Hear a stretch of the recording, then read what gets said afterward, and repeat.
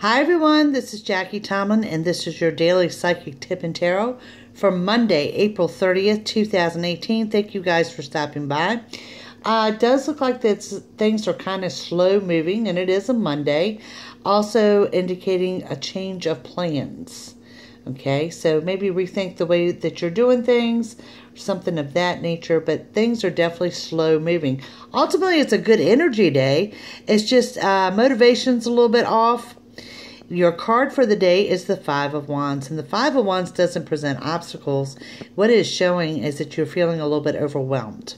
And that might be affecting your motivation today, is sometimes you have so much on your plate, you really don't know where to begin. Now, your angel card for today is do the work. Okay, what we're looking at here.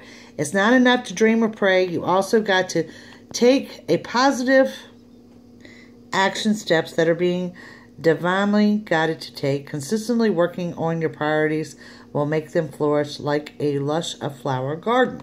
So, yeah, it's kind of difficult to read that through the camera here. But what we're looking at is the Five of Wands, feeling a little bit overwhelmed. Ultimately, a good energy day, just not so much on the motivation.